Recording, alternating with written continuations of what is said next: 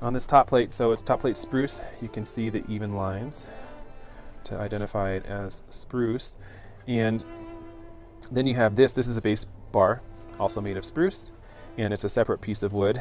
And then there's a crack along this part, and often we'll glue it from the top part, and that's where these come in. These will clamp over the plate, and then you can use the screws on either side of the crack to level it. So you can push down certain parts, one side of the crack, to make sure it's level. So you make sure it's completely level, and then you can glue it together from the top. That's a good start, but to make sure that the repair is lasting, you'd want to take the whole top plate off and put what these are called cleats over the crack as well. And these aren't professionally done cleats. The instrument kind of came this way. They're okay, but that wouldn't be exactly how we would do them. And so this is an example of what cleats are.